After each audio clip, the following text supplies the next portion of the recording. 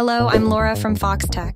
If you've downloaded a zip file on your iPad and you're unsure where it's been saved, I'll guide you through a few simple steps to find it.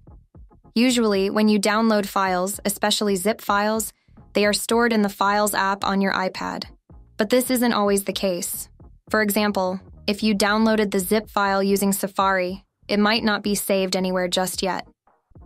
To check this, open Safari and look for a blue download icon. If you see it, that means the file is still waiting to be saved, and you can tap the icon to decide where to store the file.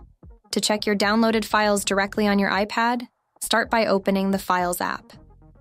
At the bottom of the screen, navigate to the Browse tab. Here you'll see options like On My iPad or iCloud Drive. You should check the Downloads folder in these locations first, as this is where most zip files are saved by default. Once you've found the zip file, you can tap it right in the Files app to unzip it.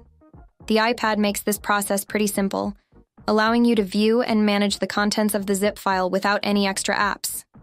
If you're having trouble finding it, you can also use the search bar at the top of the Files app to type in the name of the file and locate it quickly.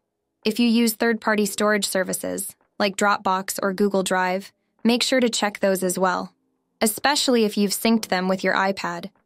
Sometimes the file might have been saved directly to one of those locations.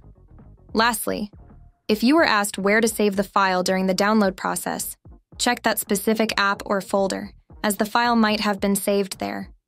Thanks for watching. I hope this video helped you locate your downloaded zip files on your iPad. If it did, be sure to like and subscribe for more helpful tech tips. See you later.